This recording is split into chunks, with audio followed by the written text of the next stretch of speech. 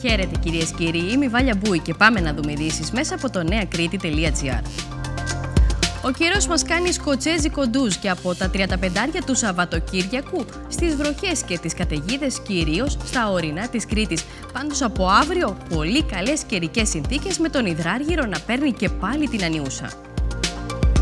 Ξεχάστε ό,τι γνωρίζατε με τις εξετάσεις των υποψήφιων οδηγών.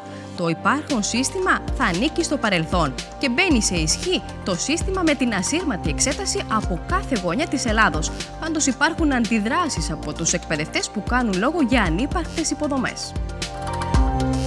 Ο Όφη τα κατάφερε. Με την χθεσινή του νίκη κλείδωσε την άνοδό του στη Super League. Σήμερα στο αεροδρόμιο Ηρακλείου Νίκος Καζαντζάκης, παίχτες και τεχνικό team περίμεναν φανατικοί οπαδοί της ομάδας.